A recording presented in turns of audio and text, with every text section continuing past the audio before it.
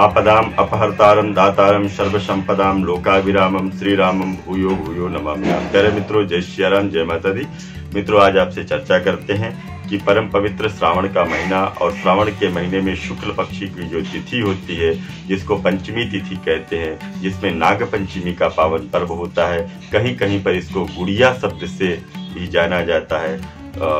छोटे छोटे से बच्चे छोटी छोटी कपड़ों की गुड़िया बना करके खेलने वाली जो गुड़िया होती है, वो बना करके और उसमें गेहूँ उबाल करके, चने उबाल करके, उसके अंदर रख करके और बच्चे उनको डालने के लिए जाते हैं। फिर उनको पीटना होता है। ऐसी प्रथाएँ हैं अलग अलग जगह की। उत्तर प्रदेश के अंतर्गत ये प्रथाएँ भी हैं और अन्य जगह भी ये प्रथाएँ होती हैं।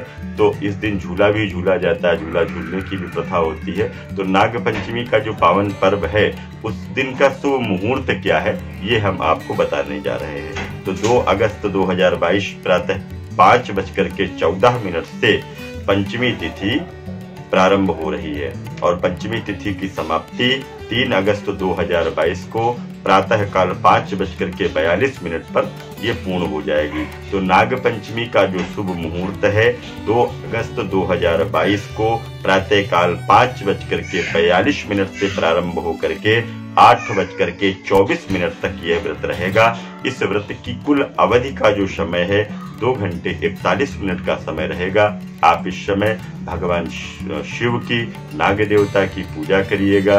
नाग देवता को आज के दिन दूध इत्यादि चढ़ाने का विधान भी है कि जहाँ पर नाग देवता होते हैं, उनके बिल के पास में जाकर के आपको दूध चढ़ा करके आना चाहिए। घरों में, घर से दूर जा करके, खेतों में जो स्थान होते वहाँ पर दूध डाल करके आना चाहिए। और इस तरह से कालसर्प दोष के जो जातक हैं, उनको भी आज के दिन शिव मंदिर में जा करके भगवान शिव की पूजा नाग देवता की पूजा करनी चाहिए। अधिक जानकारी के लिए आप हमसे संपर्क कर सकते हैं। पुनः मिलूँगा एक नए वीडियो में, तब तक के लिए दीजिए इजाज़त। जय माता दी, जय माँ गंगे।